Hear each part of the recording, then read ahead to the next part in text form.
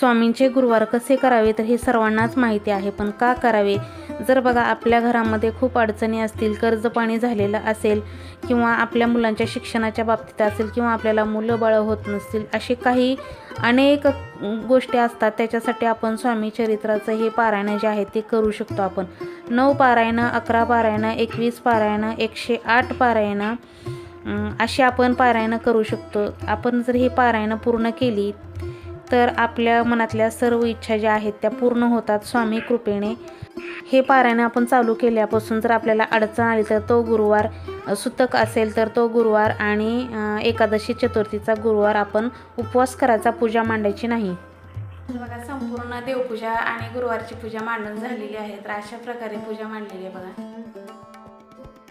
आणि देवपूजा पण छान झालेली आहे. घरामध्ये बघा किती प्रसन्न असं वाटतंय. पूजा झाल्यानंतर. अवधूत चिंतन श्री गुरुदेव दत्त नमस्कार. श्री स्वामी समर्थ. स्वागत आहे तुमचं पुन्हा एकदा आपल्या चॅनलच्या एका नवीन व्हिडिओ ब्लॉगमध्ये स्वामींच्या कृपा आशीर्वादाने तुमचा दिवस खूप छान असा आनंदाचा सुखासमाधानाचा आणि आरोग्यदायी जाऊ देत ही स्वामींच्या चरणी प्रार्थना करते आणि आजच्या आपल्या सुंदर अशा व्हिडिओला सुरुवात करते.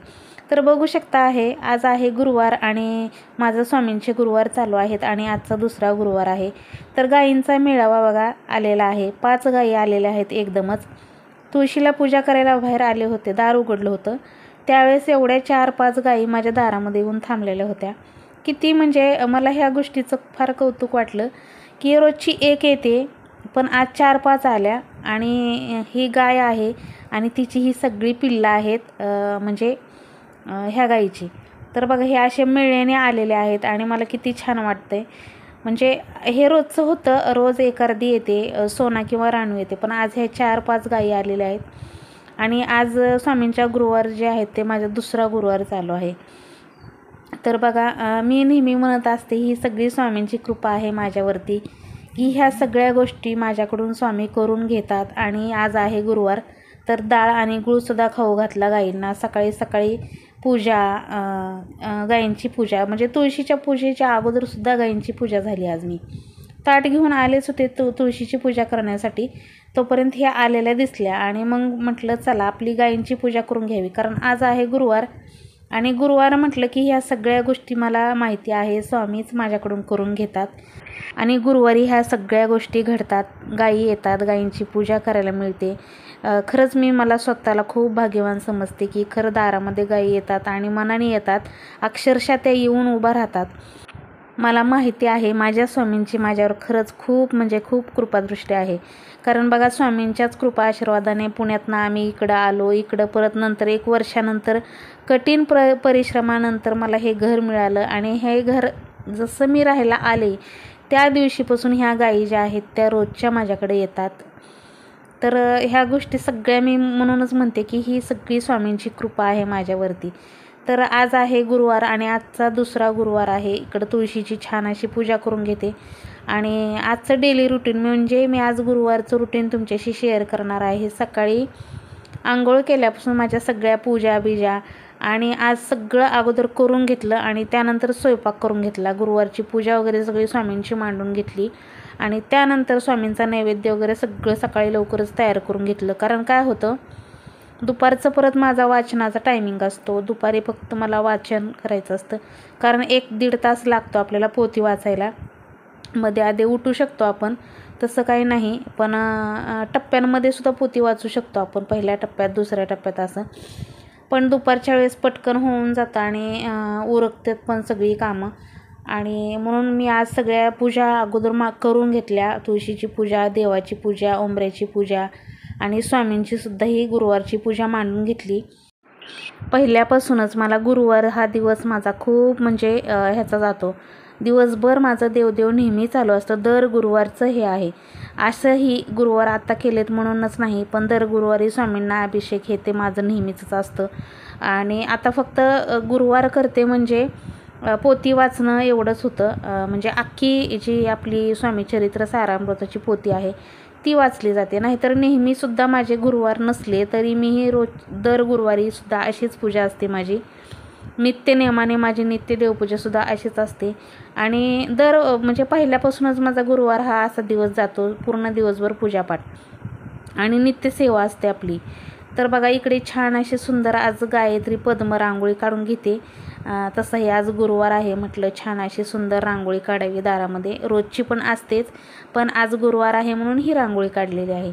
गुरुवारी शुक्रवारी आवर्जून ह्या रांगोळी काढाव्या दारामध्ये आपल्या. तर बघा ही रांगोळी अशा पद्धतीनं काढतात. म्हणजे असे टिपके प्रत्येक टिपक्याच्या पुढं तीन तीन टिपके द्यायचे आणि मोठी जर आपल्याला काढायची असेल तर प्रत्येक आपण वाढ जेवढे टिपके वाढू तेवढी ही रांगोळी मोठी होत जाते. त्याच्यामुळे आपण मग चार टिपके वाढवले पाच टिपके जरी वाढवले प्रत्येक टिपक्यांपुढं तर ही रांगोळी खूप मोठी होते.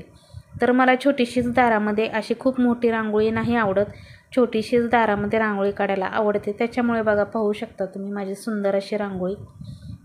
आणि ही रांगोळी खूप छान पण दिसते दारामध्ये. आणि काढायलाही सोपी आहे आणि ह्या रांगोळीचं महत्त्वसुद्धा खूप आहे. ही रांगोळी आवर्जून आपल्या आठवड्यामध्ये म्हणजे आठवड्यात एकदा तरी आपल्या दारामध्ये असली पाहिजे. कुठल्याही वारी म्हणजे शुक्रवारी असो मंगळवारी असो किंवा गुरुवारी असो. तर आज गुरुवार आहे म्हणूनच ही रांगोळी जी आहे ती नेमलेली आहे आणि पाहू शकता माझी रांगोळी सुंदर अशी काढून झालेली आहे. उंबऱ्याचीसुद्धा पूजा बघा छान अशी झालेली आहे. आजचा गुरुवार आहे दुसरा पण आज हळदीचं लेपन अजिबात केलेलं नाही. कारण काय होतं हळदीचं लेपन करायला उशीर होतो उद्या केलं तरी चालतं म्हटलं आज काय नाही. मागच्या गुरुवारी केलं होतं पण उद्या नक्की करेन. आज काय ह्या गुरुवारी केलं नाही कारण पूजा परत पूजा करायला खूप उशीर होतो. आणि पाहू शकता तुम्ही माझं सुंदर असं सगळं नित्यकर्म आटोपलेलं आहे आता झालेली आहे देवपूजा. तर बघा आपल्या दिवसाची सुरुवात म्हणजे आपलं डेली रुटीन जर रोजचं असं असेल एवढं छान डेली रुटीन जर असेल तर आपल्या घरामध्ये अखंड लक्ष्मी वास करणारच. कारण बघा रोज आपल्या घरामध्ये तुळशीची पूजा ओंबरेची पूजा नित्य देवपूजा स्तोत्र मंत्र जप ह्या सगळ्या गोष्टी होत असेल घरामधलं वातावरण जर शांत असेल तर आपल्या घरामध्ये नेहमी सुख समाधान शांती हे लाभणारच. तर म्हणून मी नेहमी म्हणते बाकीचे उपाय आपण जास्त करत बसण्यापेक्षा उपाय करावे. काही उपायसुद्धा करण्यासारखे असतात केलं तरी चालतात. पण मी म्हणते बाकीचे उपाय योजना करण्यापेक्षा किंवा कुठल्या देवाकडे ह्याच्याकडे त्याच्याकडे जात बसण्यापेक्षा म्हणजे आमचं घरामध्ये असंच होतं तसंच होतं दुसऱ्यांना सांगत बसण्यापेक्षा ह्या सगळ्या गोष्टी केल्या तर खरंच आपल्याला काहीही आयुष्यामध्ये कधीही कमी पडणार नाही पैसा पाणी अजिबात कमी पडणार नाही. आणि मुलांना संस्कारसुद्धा चांगले लागणार आणि सगळ्या गोष्टी ज्या आहेत त्या आपल्या सविस्तर चालणार आहेत बघा. हे जर आपलं नित्यकर्म रोज असं असेल तर आणि आपण घरामध्ये शांतता ठेवली घरामध्ये वातावरण एकदम पॉझिटिव्ह असलं तर ह्या सगळ्या गोष्टी आपल्याला कुठंच कमी पडणार नाहीत. आरोग्य व्यवस्थित लाभेन धन संपत्ती कारण कसं असतं म्हणजे लक्ष्मी म्हणजे आपण जे म्हणतो लक्ष्मी लक्ष्मी चंचल आहे. खरं तर लक्ष्मी खूप चंचल आहे. तिला आपल्या घरी टिकवून ठेवायचं असेल तर आपल्याला हे नित्यकर्म जे आहे ते सगळं व्यवस्थित केलं पाहिजे. संध्याकाळी दिवे लागायच्या टायमिंगला सुद्धा घरामध्ये अतिशय शांत वातावरण पाहिजे. रामरक्षा किंवा हनुमान चालिसा आपल्या घरामध्ये वाचली पाहिजे किंवा ऐकली पाहिजे. मोठ्या आवाजात हनुमान चालिसा घरामध्ये लावली पाहिजे.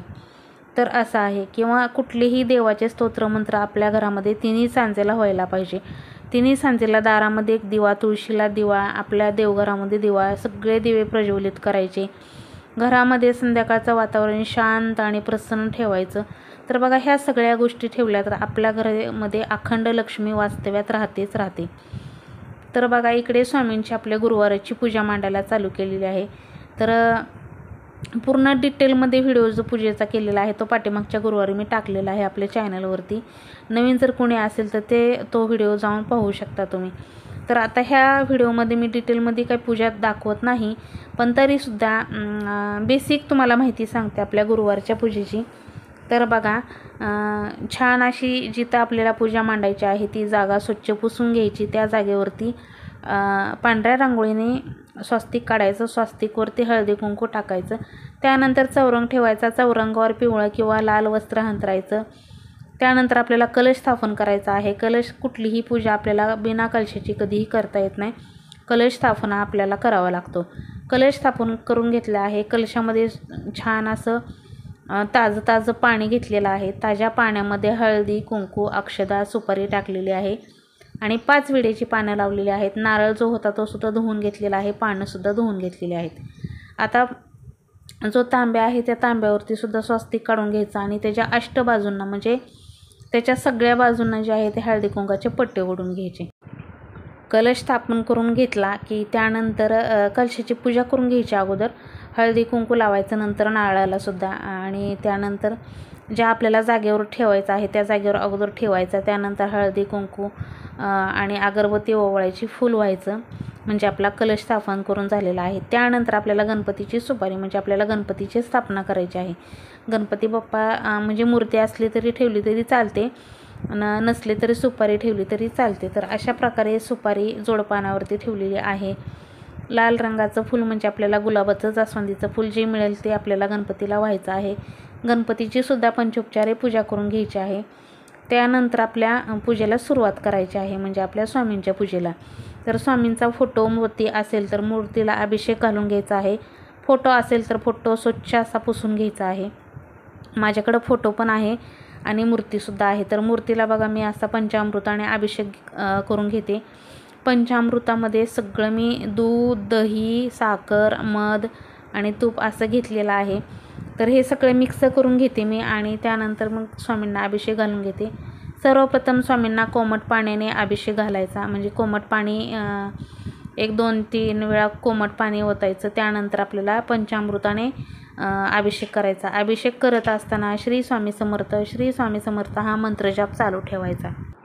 आणि पूर्ण पूजा झाल्यानंतर सगळ्या पूजेला एकदा हळदी कुंकू वाहून घ्यायचं घंटीची सुद्धा पूजा करून घ्यायची. माळा आहे ती सुद्धा ठेवायची पोतीची सुद्धा पूजा करून घ्यायची. प्रत्येक विडा जो ठेवलेला आहे त्यालासुद्धा हळदी कुंकू वाहून घ्यायचं. आणि स्वामींची पूर्ण एकदा पूजा करून घ्यायची आणि त्यानंतर मग अगरबत्ती ओवळायची. म्हणजे ही आपली पूजा जी आहे ती मांडून झालेली आहे.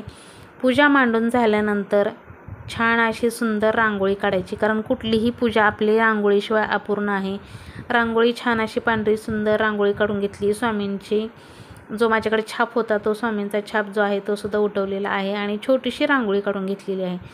तर बघा छान अशी माझी सुंदर पूजा मांडून झालेली आहे. पूर्ण पूजा मांडलेली आहे. आणि पूजा मांडून झाल्यानंतर मग माझा आहे स्वामी स्तवन तारक मंत्र आणि जपमाळ करायची. आणि त्यानंतर स्वयंपाक करून घेणार आहे. स्वयंपाक करून झाल्यानंतर कारण आज पूजा खूप लवकर मांडलेली आहे. मागच्या गुरुवारी खूप उशीर झाला होता. तर ह्या गुरुवारी अजिबात तसं केलेलं नाही. स्वयंपाक करून घेतला आता नंतर. नैवेद्य दाखवून घेते आणि त्यानंतर पोती वाचणार आहे. स्वयंपाक सगळा झालाय. आज स्वामींची पूजा पण लवकर केली आणि आज स्वयंपाक पण लवकर केला तर आता दाखवून घेते स्वामींना नैवेद्य. सकाळी सकाळी स्वयंपाक करून घेतला लवकरच. तर स्वयंपाक केलेला आहे भात वरण मटकीची भाजी आणि चपाती. तर बघा स्वामींचे गुरुवार का करावे कसे करावे तर सर्वांना माहिती आहे पण का करावे हे सांगते. तर बघा आपल्याला घरामध्ये ज्या ज्या ज्या व्यक्तींना खूप टेन्शन असेल कर्ज झालेलं असेल किंवा घरामध्ये म्हणजे सतत असं भांडणं होत असतील किंवा मुलांच्या शिक्षणाच्या बाबतीत असेल किंवा कुणाला मुलं बाळं होत नसतील असे खूप सारे प्रश्न जे असतात तर त्यांच्यासाठी मी आ, हे सांगते की स्वामींचे गुरुवार करावे. स्वामींचे गुरुवार कसे करावे हे तर आपल्याला सर्वांना माहीत आहे. पण ह्या सगळ्यांसाठी आपल्याला हे स्वामींचे अकरा गुरुवार नऊ गुरुवार एकवीस गुरुवार एकशे आठ गुरुवार म्हणजे हे जेवढे गुरुवार जे आहेत ते पारायण आहेत. म्हणजे आपली तेवढी पारायणं पूर्ण होतात. म्हणजे कारण एका दिवशी आपण म्हणजे गुरुवारचा दिवस जो आहे तो अख्खं त्या दिवशी आपण स्वामींचा अभिषेक करतो. त्या दिवशी ही अख्खी पोती वाचतो. म्हणजे हे आपलं एक दिवसाचं पारायण पूर्ण झालं. तर अशी तुम्ही पारायणं नऊ पारायणं अकरा पारायणं एकशे आठ पारायणं अशी पारायणं एकशे एकवीस पारायणं अशी पूर्ण करायची. म्हणजे आपल्या ह्या ज्या म्हणजे ज्या आपण गोष्टीसाठी केलेल्या आहे त्या आपल्या इच्छा पूर्ण होतात. आता आपल्याला ज्या गुरुवारीमध्ये अडचण आलेली असेल किंवा कुठलं काही सुतक वगैरे असेल किंवा एकादशी चतुर्थी आलेली असेल तर तो गुरुवार आपल्याला उपवास करायचा आहे पण पूजा मांडायची नाही तर असे गुरुवार करायचे आहेत. चला तर मैत्रिणींनो तुम्हाला आजचा व्हिडिओ कसा वाटला नक्की कमेंटमध्ये सांगा. आवडला तर लाईक शेअर सबस्क्राईब करा. श्री स्वामी समर्थ.